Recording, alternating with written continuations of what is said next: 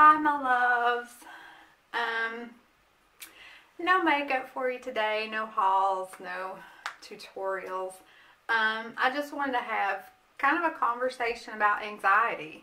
Um, I've talked about it a couple times on my channel, but um, yeah, I, I want to have a more open dialogue about it. I may do a series um, about dealing with anxiety. So if you want to have this conversation, stay tuned.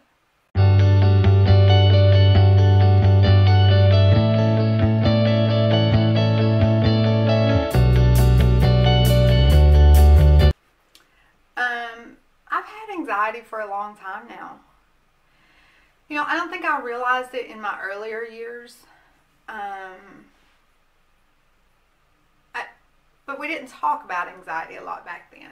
You know, but I did little things like when my kids, well, still, they're teenagers now, and when I'm in a car with my kids, and this started when they were very young, I mean, one and two, you know, really too young to understand I needed them to be quiet. I needed them to stop talking. but we would be in a car traveling or just going, you know, 20 minutes down the road to go to the movies and they're playing in the back seat and my heart is racing. I'm shaking and inevitably I would end up just yelling, "Stop talking." You know, and I always felt bad because it's that's not fair to them. Um, but anxiety is just this feeling. And for no one that, for someone that's not experienced it, it's impossible to really explain.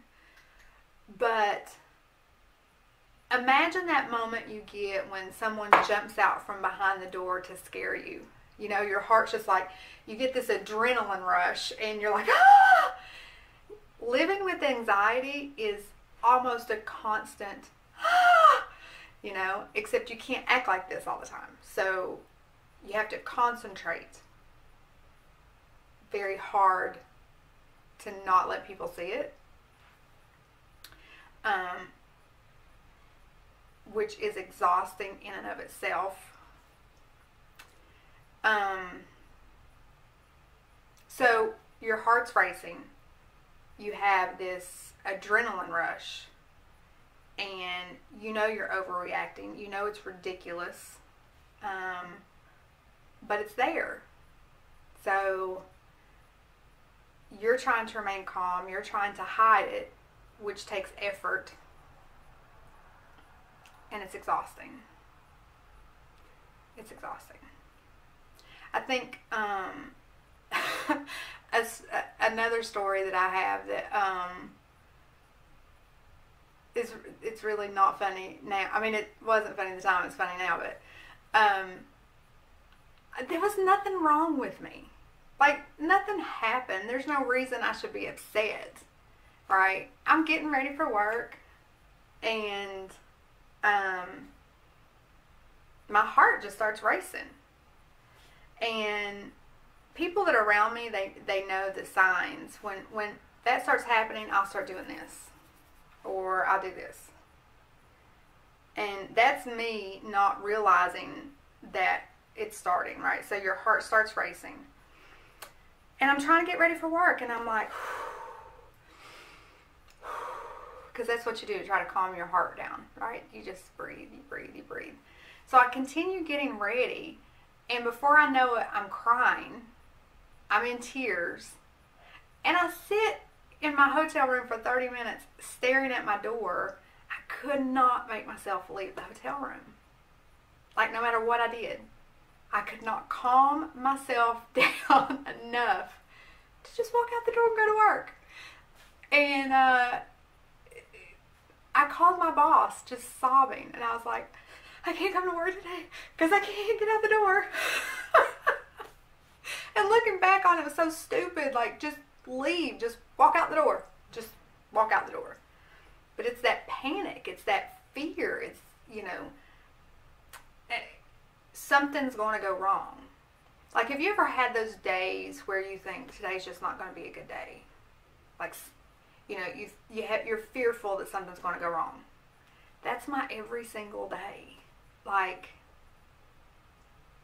I can't sleep unless I take meds because when I sleep, I either have these vivid, vivid dreams or I just keep waking up and then finally I get frustrated and I get out of bed. So I can't sleep. These anxiety attacks causes these adrenaline rushes. So I'm I'm trying to live during the day on practically no sleep. And then I have these anxiety moments that cause this adrenaline rush. So I'm tired all day. Then you're trying to do that, you're trying to work, you're trying to take care of your family.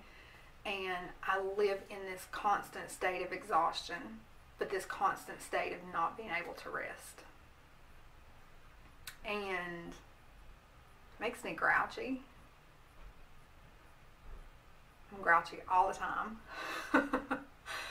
um, I'm snappy. Like I will snap somebody's head off like that um, for nothing. You don't. It, you don't have to do anything. You could just say, "Did you do something to your hair?" And I will snap your head off. what the fuck do you mean? Did I do something to my hair?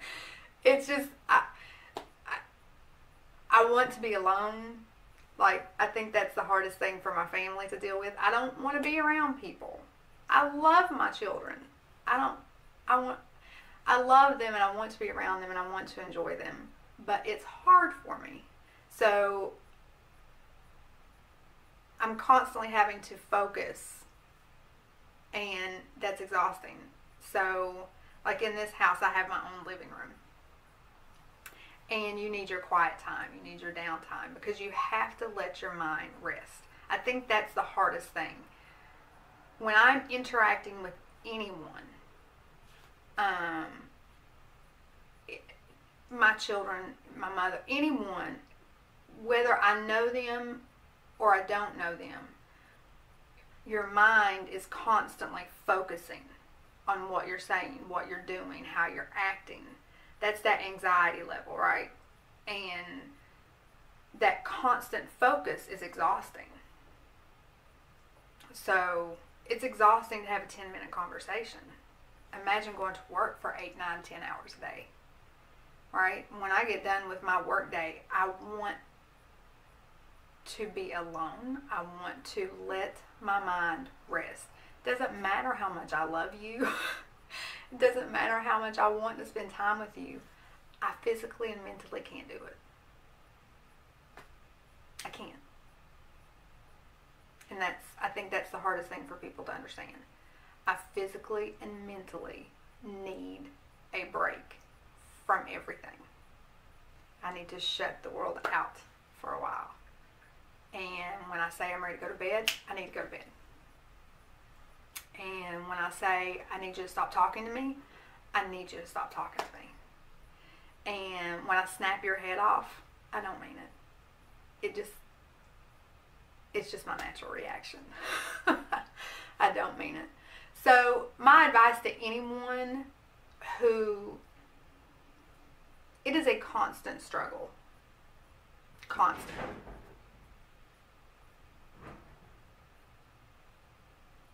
Somebody's home. it's a constant struggle um, for someone with anxiety. And the last thing that I want to do is explain to you what I'm feeling in that moment the last thing I want to do is try to comfort me. I need you to just understand when I need my space or when I can't socialize. When I say I don't want to go, I need that to just be okay. When I say I don't want to do something, I need that to just be okay. So, my advice to anyone who is living with someone with anxiety is you do the research. You learn about anxiety. You learn about what they feel like, what they go through, what they need, what they don't need you do that on your own. Because the last thing someone wants to do is have to explain it to you, right? Um, so, anyway, I'll do this series. I don't know that I'll do it every single week, but I'll kind of update you guys on where I'm at and how I'm doing. I've had the last probably two or three months have been really bad. Um, I've had to go on a second medication. Yay. Um, I've broke out in hives. Just, just all kinds of fun stuff. But um, it got really good, and now it's getting really bad again. And I took a week off from work this week, and that's helped a lot. I feel a little bit more rested, a little, as much as I can. um, but I'm nervous about traveling. Um, I hate to travel. I don't like to get in my car and go anywhere. So I'm nervous about the traveling. I'm nervous about going back to work, exhausting myself at work. Um, so what happens? See, I'm starting. I'm starting to think about all these things that I'm dreading, and it just causes the anxiety to increase. So anyway, we'll do this series. I might do a little vlogging next week and let you know how it's going my first week back. Um, that might be fun, or it might be a total disaster. I don't know. but we'll see. Uh, if you think it's a good vlog, I, if it's a good idea to vlog, let me know in the comments below. If you want me to continue this series, just give me the thumbs up.